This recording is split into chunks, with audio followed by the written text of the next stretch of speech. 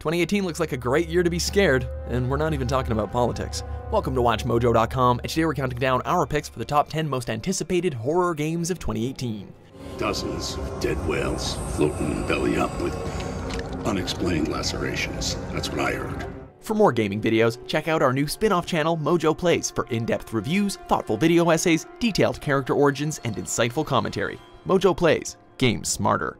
For this list, we'll be looking at the most hotly anticipated horror games which are set to release throughout the coming year. Simple stuff.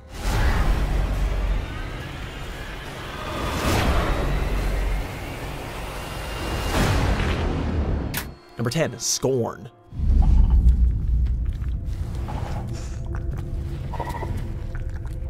Scorn looks to be the most disgusting thing you'll ever see, so if you're into gore and body horror, you'll definitely need to check it out.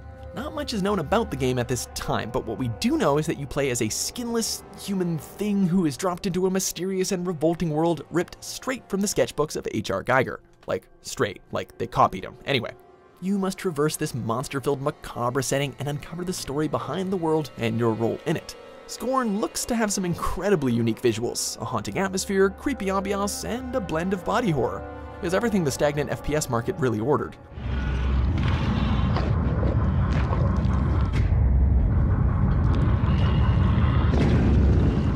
Number 9. Blasphemous.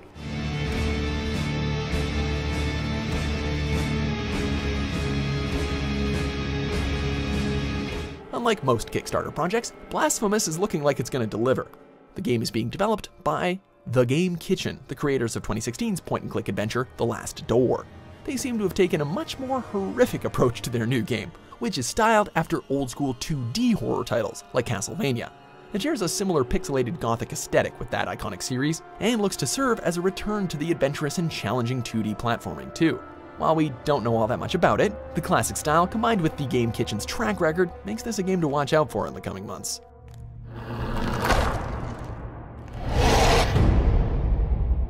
Number 8. Close to the Sun.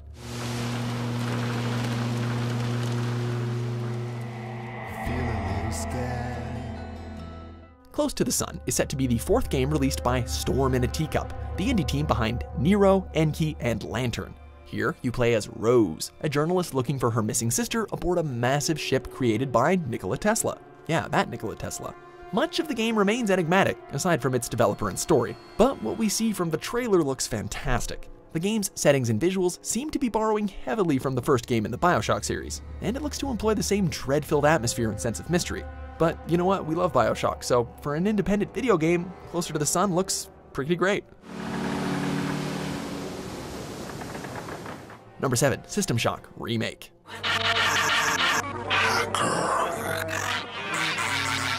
System Shock, the classic FPS slash immersive sim from 1994, which heavily influenced Bioshock, is getting a complete overhaul by Nightdive Studios, and it should be released in the second quarter of 2018.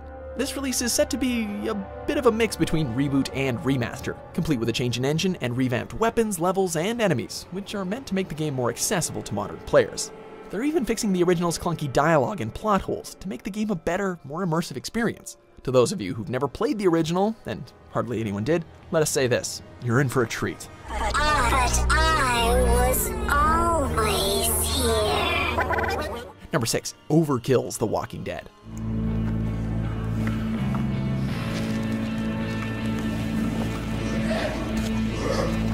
We know that The Walking Dead well has pretty much dried up at this point, but we couldn't imagine a better Walking Dead experience than Telltale's stellar first season. That said, Swedish developer Overkill's game looks to be pretty darn good. It follows in a similar vein as Valve's Left 4 Dead, as it sees up to four players cooperating to wade through a zombie-filled wasteland while collecting supplies and saving survivors. Unlike Left 4 Dead though, each character will have their own specific traits, abilities, and playstyles, which will undoubtedly help to add some variety and replay value. Anyway, for those itching for another Left 4 Dead style experience who don't enjoy killing floor, this might be your best option. Please.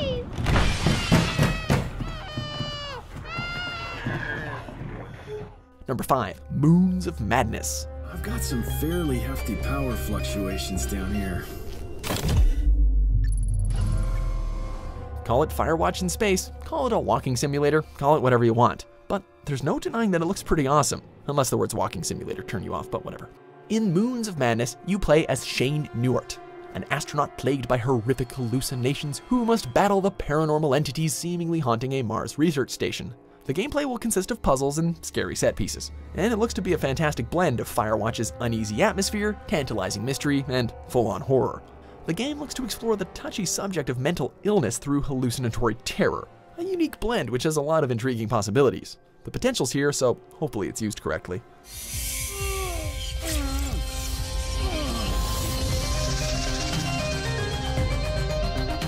Number 4, Days Gone. What happened? Got hit again. Squatters off the highway. We've got to get some men together, go after them. Don't look at me, it ain't my problem. They've got Manny. We admit, Days Gone might sound like something you've seen before. It's an adventure game set in an open world, plagued by zombies who become more aggressive at night, and you must collect resources and craft weapons in order to survive. Yeah, I know, that's like basically all of 2015 in a nutshell, right? But the game also employs a few tactics to keep things fresh. You can either use a stealthy or confrontational approach to each mission, the zombies are fast and combative rather than slow and shambling, and the sheer number of them on screen even puts Dead Rising to shame. We're not saying that it will reinvent the oversaturated zombie market, but it might be a breath of fresh air. Oh, shit. Oh, shit.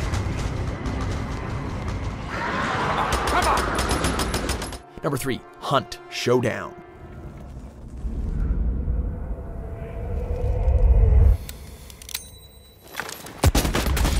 Showdown is a new game by Crytek, and it looks to be an interesting blend of PvP and cooperative survival horror. The game takes place within a large map in which teams, composed of two players, face off against each other and the map's AI zombies and bosses. The goal is to wade through the bosses and the zombies and then gain some XP from their corpses while defending against or attacking the other players. As the creative director explained, it's a survival game in a match based format. It's an interesting and original concept, so we can't wait to try it out.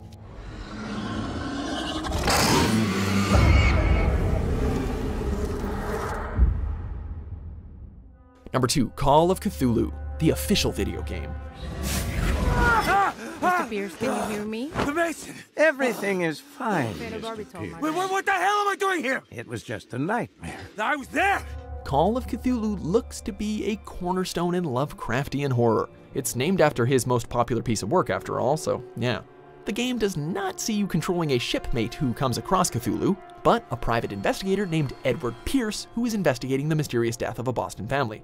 Upon his investigation, he discovers that the resurrection of Cthulhu is imminent. The game is set in a semi-open world and blends elements of stealth-based gameplay and investigations, all while incorporating the essentials of Lovecraftian cosmic horror.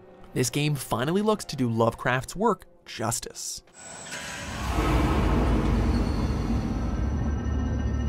Before we unveil our top pick, here's an honorable mention.